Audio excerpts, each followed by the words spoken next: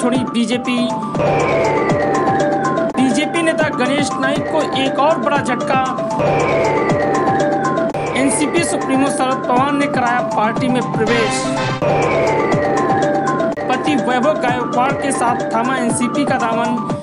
नवंबर मनपा चुनाव से पहले ही बीजेपी और गणेश नाइक को ज़ोर का एक और झटका मिला है। गणेश नाइक के चहते नगर सेवकों में से एक दिव्या गायकवाड़ और पूर्व नगर सेवक वैभव गायकवाड़ ने बीजेपी छोड़कर एनसीपी का दामन थाम लिया है। मंगलवार को उन्होंने शरद पवार से मुलाकात कर राष्ट्रवादी कांग्रेस पार्टी में प्रवेश किया।